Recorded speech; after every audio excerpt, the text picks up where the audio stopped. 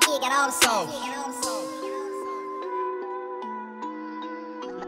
White cards, white cards, white cards.